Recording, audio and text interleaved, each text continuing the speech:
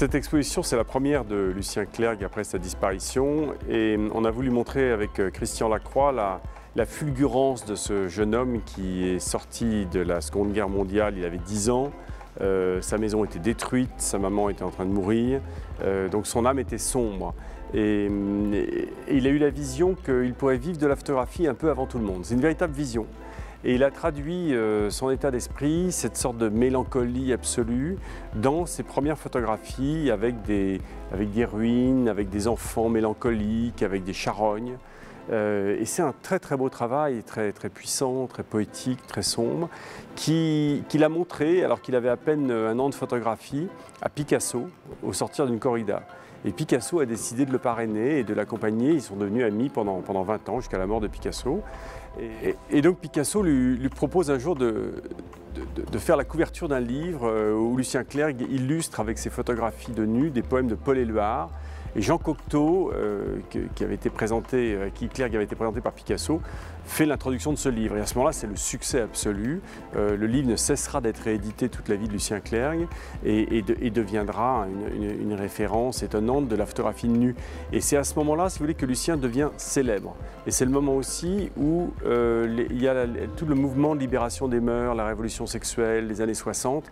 Et les photos de Clerc sont là à ce moment-là, de ces femmes avec une vitalité extraordinaire qui sortent de l'eau, qui, qui, sont, heureuses d'être au soleil, heureuses d'être dans l'eau. Un de ses premiers modèles dit que Lucien Clerc photographie les femmes comme elles se voient elles-mêmes. Donc on a, le contraste entre le début d'une vie euh, extrêmement mélancolique, extrêmement sombre, et tout d'un coup ce besoin de vitalité, d'énergie et de bonheur.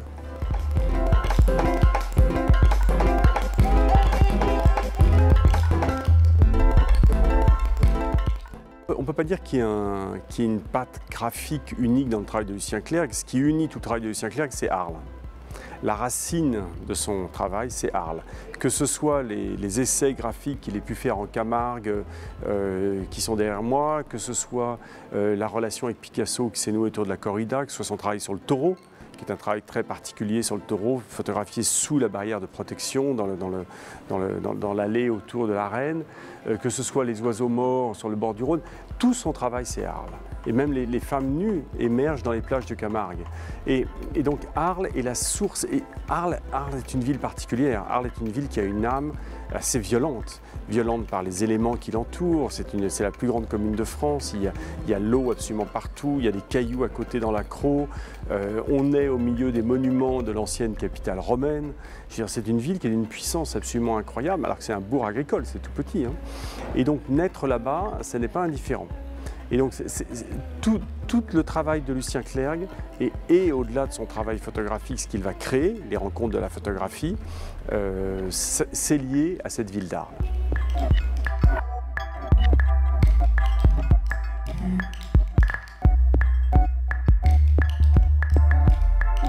Moi j'ai la chance de travailler depuis euh, 1980 dans la photographie et dès le départ j'allais à Arles pour euh, apprendre, pour échanger grâce à ce festival que Lucien Clerc avait créé euh, et rencontrer notamment des gens qui venaient de l'étranger, parler de photographie, montrer leurs travaux et donc je me nourrissais pour les expositions que j'organisais toute l'année.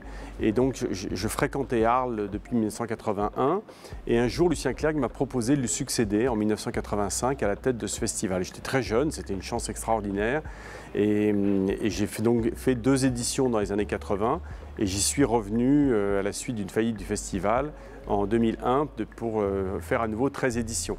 Donc euh, j'ai eu la chance de diriger ce festival 15 fois et, on, on s'est énormément rapproché avec Lucien Clerc. On avait en commun d'aimer la vie avec les artistes quelque chose dont nous nous sommes nourris. Lui qui a, découvert Manitas des Plata, qui a fait venir les grands photographes américains à Arles, qui a créé un festival de danse. Enfin, c'est quelqu'un qui, a toute sa vie ferraillé aux côtés des artistes.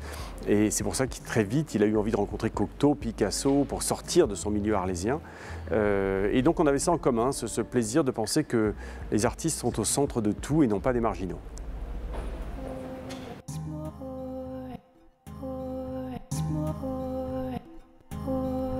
more.